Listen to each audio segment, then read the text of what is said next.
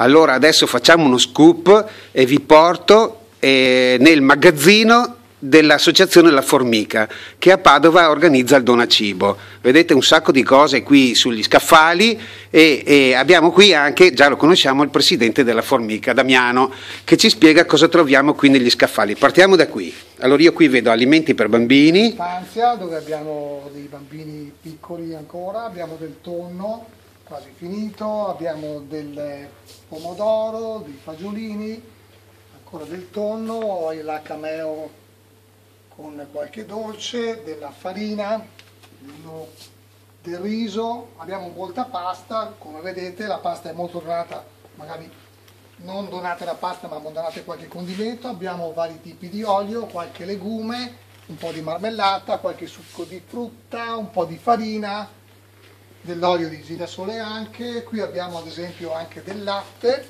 a lunga conservazione, con dei biscotti anche, qualche pastina, la passata di pomodoro, qui ancora molta pasta, fin troppa.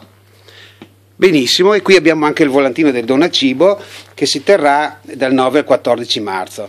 Che cosa diciamo ai ragazzi delle scuole che parteciperanno a Donacibo? Partecipate donando, questo gesto sicuramente aiutando chi ne ha bisogno vi può fare diventare grandi condividendo questi bisogni.